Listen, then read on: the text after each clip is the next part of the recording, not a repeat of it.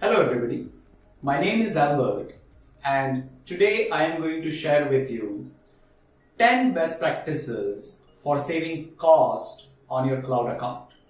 Now I do know that cloud cost optimization is, is one of the most dreaded tasks for all the organization who are running their workloads on cloud. And these 10 best practices are cloud agnostic. And these are as important for a startup as they are for an enterprise in order to save cost on your cloud computing workload. So let us look at them. To begin with, number one, tag all your resources to know where the money is spent. It is really, really important to tag all your resources either by project name or by resource or by department or by a person who is consuming that resource. All the cloud providers will give you a report of all the resources that are not tagged. Take out this report periodically and take the action necessary to ensure that you know where your money is being spent or who is spending that money. Number two, use consolidated billing to avail volume discount. Now, most of the organization will have more than one cloud accounts and it helps if they combine all of these together and pay money through one account, one payee account. And, and in that way, they can avail discount for all the usage. And, and you know, all the cloud provider, they actually give you discount on volume. So the more you, you consume, you know, the, the price that you pay, the price per unit that you pay, it comes down. So use consolidated billing and then you can avail these discounts on whatever you are consuming. Third, automate resource lifecycle. Most of the time, our resources such as servers are, are, are created, are provisioned and then we forget about those servers and they keep on burning hole in our pocket month on month. So it, it really helps if we put a process in place that will automate the creation and deletion or termination of that particular server or for that matter a resource on your cloud account. Number four, right size your resources which means that if I have a very used server and it is being utilized only for 10% or 20% in a, in a month then it really helps if I reduce the size of that server and instead of let's say $3 an hour, I am, I am, I can get my work done with $1.50, uh, you know, an hour. So I could, I could save money right there by right sizing my, my servers or for that matter, my, my storage devices. Okay. Uh, fifth, choose right pricing model based on usage. Now, all the cloud platform, they have various pricing models for, for their services. And, and they do allow an on-demand price versus a reserve price. So if I know something that is going to run for a very long time, normally in a production environment, then I can reserve that particular capacity and it goes much beyond servers as well. It goes to storage as well. It goes to content distribution as well. So as soon as I reserve that, I, I could get up to, you know, 40% in, at times 50% discount as well.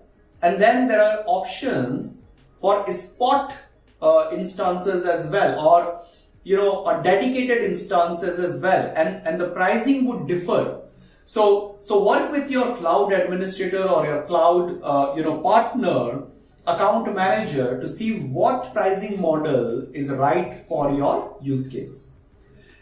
Number six, measure and monitor your resources. As I mentioned earlier, in right sizing your, your resources, it is imperative to measure and monitor, set up monitoring for all the resources. Am I really consuming what I have provisioned? What is the extent of consumption? And if, if I'm not doing that, let us, let us talk to the person who provisioned it and see if we can, you know, reduce that, what I have provisioned. Because cloud would give you, you know, one terabyte if you would want, uh, you know, in, in RAM. But, but do we really, really need that? So it is very important to, to measure uh, what we are provisioning uh, and then monitor it and then take necessary action. Alright. Now, number seven, as, as a, again this, this goes back to the same thing that we provision a lot of resources and most of these resources they, they lie idle they, they lie unused or unattached. For example, uh, IP addresses or, or load balancers or, or maybe some storage uh, devices. So take a note of all these uh, you know unused or unattached or unallocated resources that are adding bill or adding money to your monthly bill and then get rid of them or you know have somebody uh, make make use of them number 8 match usage to storage class. Now in cloud, it's, it's really interesting that uh, you could get storage for about $4 a terabyte to up to $300 a terabyte depending on a use case. So if your use case is, hey, I really want to archive something, it would be wise to go to a service that is designed specifically for that use case and, and costing the least amount of money versus, you know, using something that is costing you, you know, $100 a terabyte only for archiving uh, your data. So choose, choose wisely between your use case. And again, uh, you know, you can always go to your cloud account manager to, to help you with, uh, with choosing these things. Number nine, increasing elasticity through automation. So I did mention that there could be times when you need more servers or you need less servers. All the cloud platform, they would give you enough uh, you know resources to automate scaling up or scaling down of your resources and it really helps if you can automate that so that as soon as you are done with your work you are not paying for additional hours or additional duration of those servers or storage devices and number 10 and this is again you know based on our experience that most of the time 80% of your cloud cost would be attributed to your compute and storage resources. So your servers, your, your volumes, they would constitute most of your bill. So it, it really, you know, makes sense to spend most of your effort on these two things. Now, if you do not have, uh, you know, these services on, on top 80% of your bill, of your cloud bill, then yes, whatever you have on top of that, I would say that, you know, put more focus on that thing.